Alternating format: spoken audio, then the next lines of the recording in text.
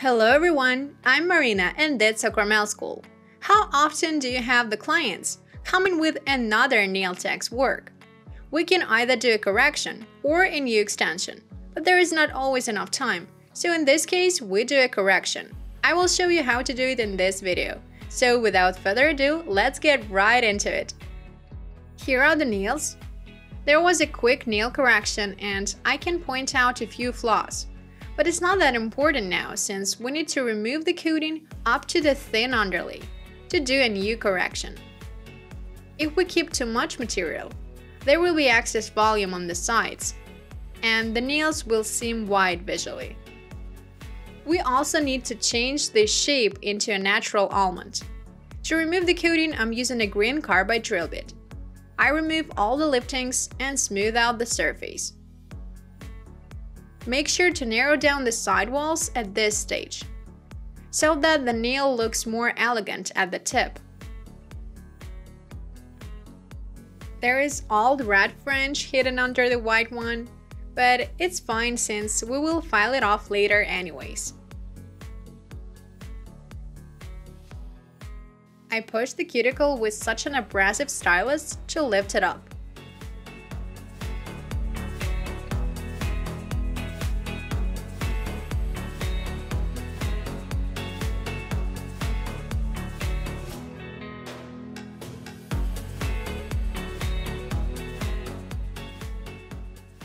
I shape the nails right away, forming natural almonds.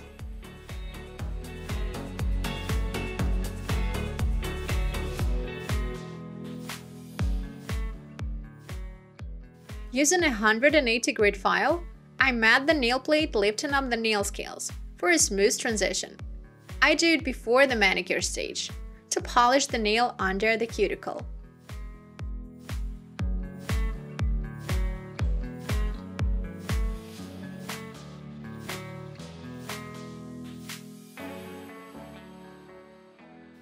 Let's proceed with the manicure. This time I'm using a long red flame drill bit. I lift up the cuticle and remove all the pterygium. Make sure to process the side sinus as well. Turn the finger to the side and polish the lateral folds.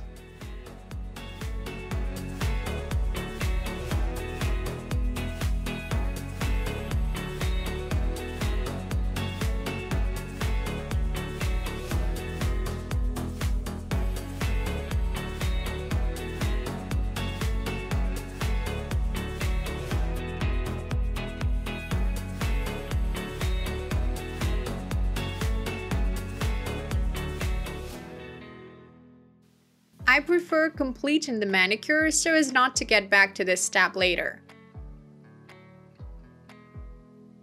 I cut off the cuticle with such rounded scissors.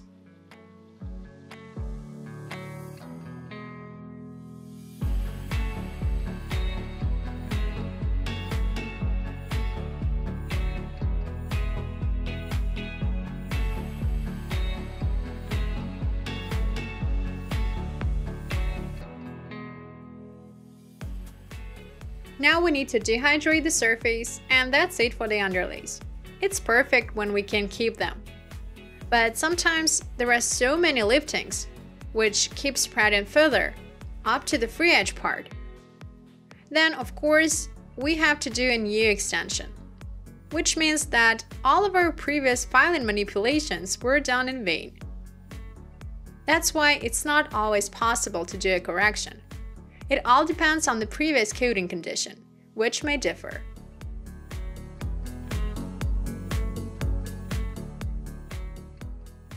I apply a thin layer of a clear base coat and send it to cure.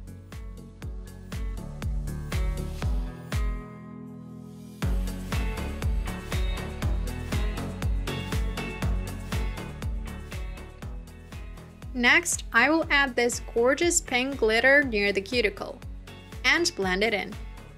It's one of the current trends. By the way, I have ordered this glitter from AliExpress.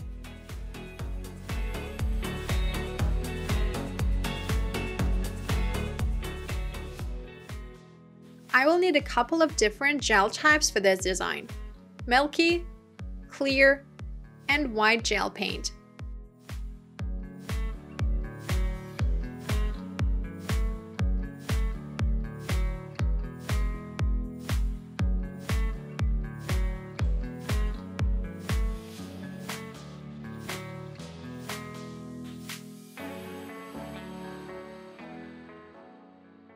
I put a few drops on the palette, grab some paint with a thin brush, and add it there with dotted moves. Then I slightly mix it. That's the keyword here, slightly, since if we mix it well, there will be a smooth texture, which we don't need for this particular design. Before applying the gel drop onto the nail, make sure to apply a thin gel layer first. For the drop to spread over it, I place the drop on the highest point and carefully spread it with the brush. Make sure not to make any whipping moves, which again may result in getting a smooth gel texture. So here I can't use a thin brush, since it will ruin the nail art I want to create. Slightly pull the gel to the free edge and turn the hand over to spread it. Send it to cure in the lamp. Since this layer is thick, cure it for not less than 1.5 minutes. I lay it out carefully by twisting the brush on the nail surface. If there is not enough of any of these gels, then add some more. What makes this design so exciting is that we don't know the exact results until we file it. We will file up the surface and the design will change a little.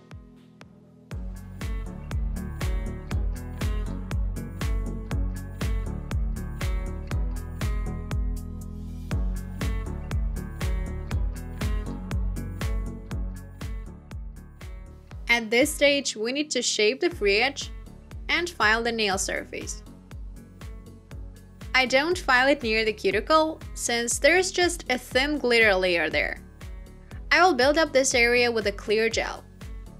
I didn't do it right away, so that we could see the nail art better after filing.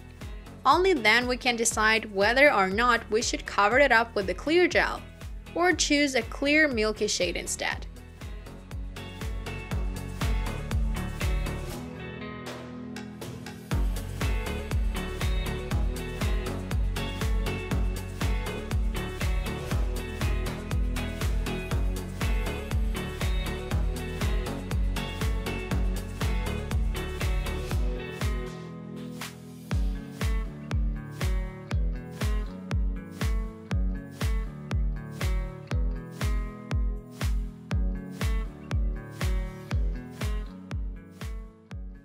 I wipe off the tacky layer and remove all the dust.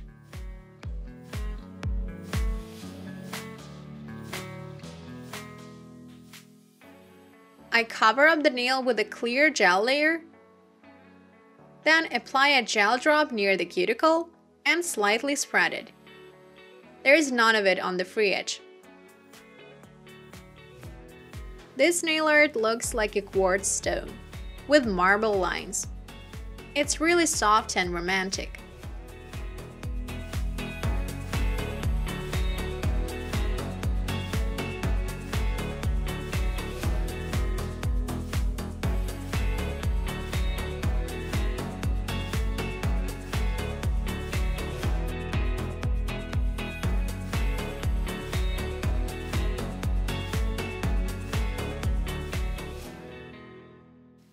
We decided to spice up this nail art a little bit by adding these silver stickers.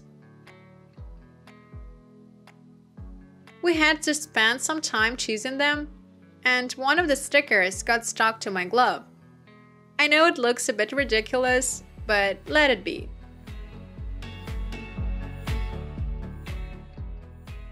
I smooth it out with a silicone brush and apply a top coat. Make sure that the highlight is even.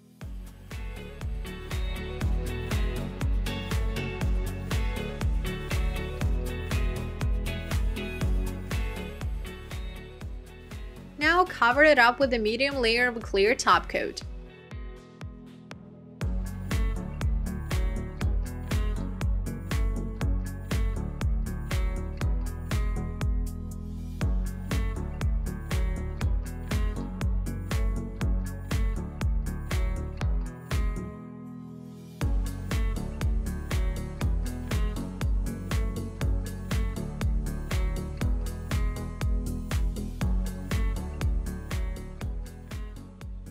Here's the result. This nail correction did not take too much time and ended up looking amazing. Make sure to give it a thumbs up and subscribe to my channel. I wish you all success in your work. Bye bye.